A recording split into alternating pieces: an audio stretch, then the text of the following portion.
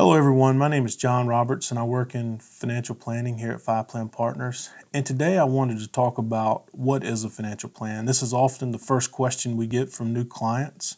And as it turns out, it's a term that's not easily defined. A lot of people have very different interpretations of its meaning. But at fi-Plan Partners, our definition of a financial plan is it's a comprehensive snapshot on your financial health as it relates today and projected over your lifetime. We're seeking to answer the question of Am I on track? Every financial plan is different, not because we all have different assets and projected future income, but because we have different ideas and different dreams and goals for ourselves and for our family. We're trying to take the amount of cash flow that we have and answer the question what is the highest and best use of it?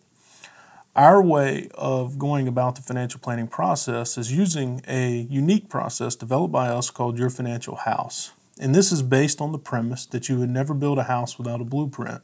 Every investment decision that we make is interdependent on estate planning issues or life insurance issues or retirement issues. So it's taking all of that information, putting it together in one projection, and talking about how this affects your life over not only today, but for a long period of time. If you would like to know more, please feel free to contact us at fi-Plan Partners.